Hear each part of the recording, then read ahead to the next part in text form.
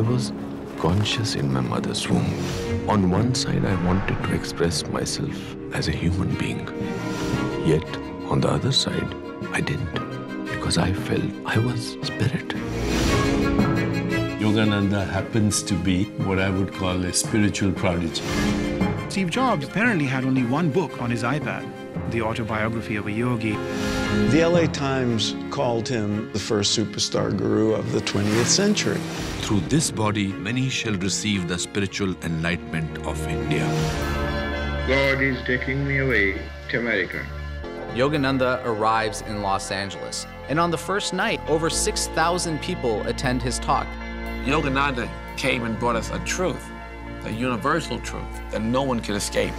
Here is a small brown mystic from a nation that very few Americans had ever been to. And he is here delivering his message with such force that he's making converts by the thousands.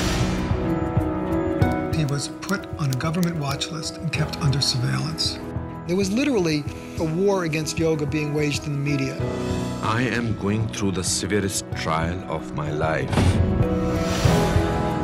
Yoga has become something that you do with your body, but it's really about the mind.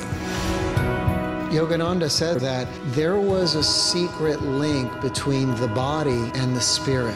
The technique of meditation, recharging the body battery with cosmic energy, for it is not a creed or dogma, but the science of the soul and spirit. If I hadn't read that, I'd just be, you know, some horrible person.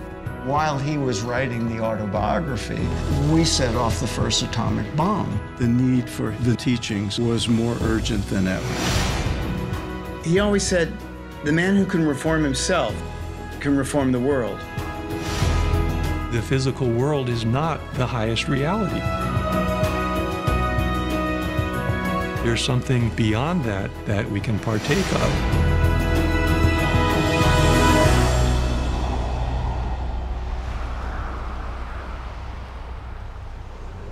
Hey Lisa here with a Hollywood update. Scarlett Johansson has revealed that her Ghost in the Shell remake starts shooting next January or February and it will be under the direction of Rupert Sanders. Hugh Jackman's next film has been delayed from July 24 to October 9, 2015. According to Variety, Warner Brothers made the decision to delay Pan to avoid competing with big mid-year films such as Ant-Man and Mission Impossible Rogue Nation. That's all I've got for you today. Subscribe to keep up to date.